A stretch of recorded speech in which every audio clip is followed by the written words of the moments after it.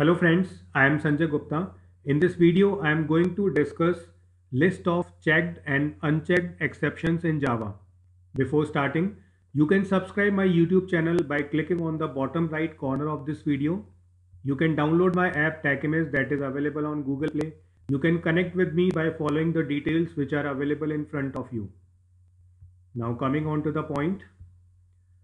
In this video, I am going to discuss checked and unchecked exceptions which are available in Java. So first understand the concept and then I will be showing the list of checked and unchecked exceptions. So first point says all exception types that are direct or indirect subclasses of the class runtime exception are unchecked exceptions. Second point says all classes that inherit from the class exception but not class runtime exceptions are considered to be checked exceptions. So uh, this is the small difference between checked and unchecked exceptions.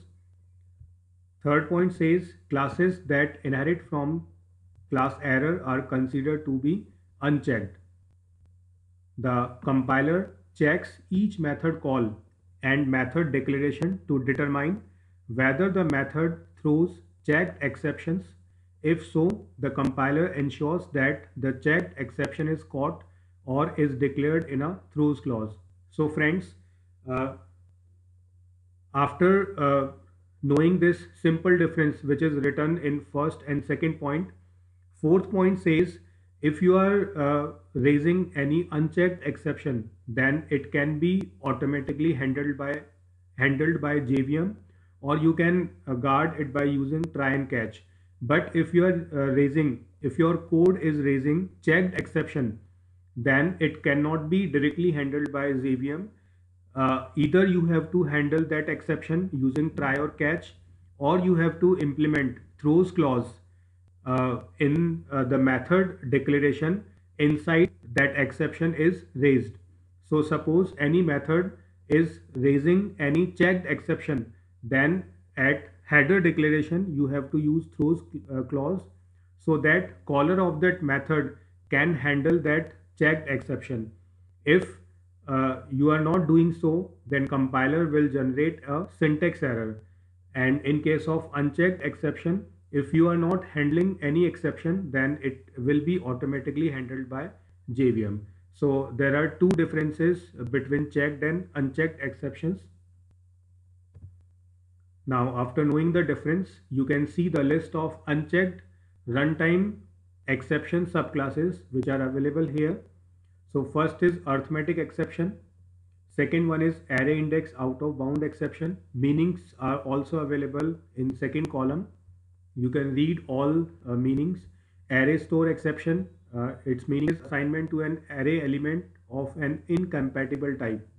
Then class cast exception, invalid cast illegal argument exception, illegal argument used to invoke a method, illegal monitor state exception, illegal monitor operations such as waiting on an unlocked thread, illegal state exception, illegal thread state exception, index out of bounds exception, negative array size exception, null pointer exception, number format exception, security exception, string index out of bounds exception, unsupported operation exception. So this is the list of unchecked exceptions which are subclasses of runtime exception. So if you don't handle these exception, the, these exceptions will be automatically handled by JVM.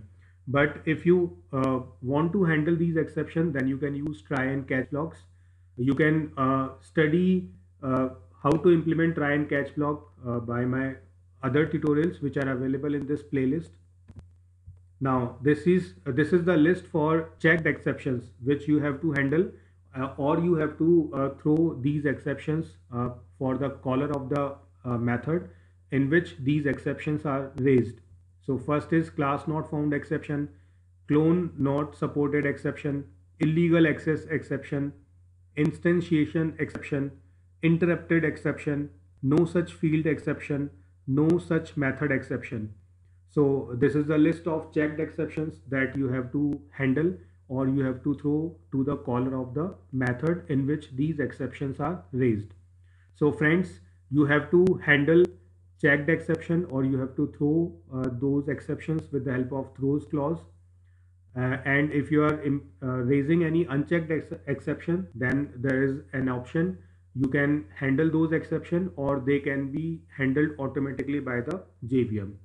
So this is the small uh, comparison between checked and unchecked exceptions which are available in Java. You can uh, subscribe my YouTube channel if you want to watch more programming related videos. Thank you for watching this video.